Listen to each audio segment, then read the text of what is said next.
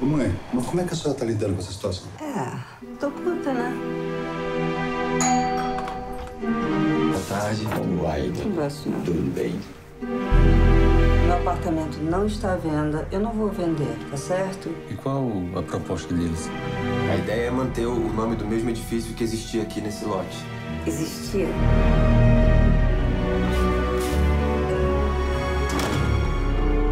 Teve nem curiosidade de saber o que, é que era? Não. Essa é minha irmã, viu? Todo mundo saiu de lá, menos a senhora.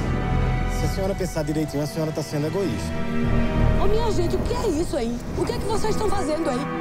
Isso aqui tá sob minha responsabilidade, é meu primeiro projeto e eu vou. eu vou atacar. Você sabe alguma coisa sobre essa gente? Tá querendo me botar medo. É, mas é bom ter um pouquinho de medo mesmo, né?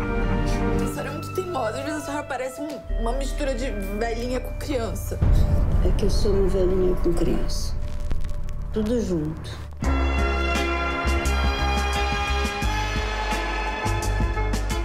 Hoje trago em meu corpo as marcas do meu tempo, a fossa fome, a flor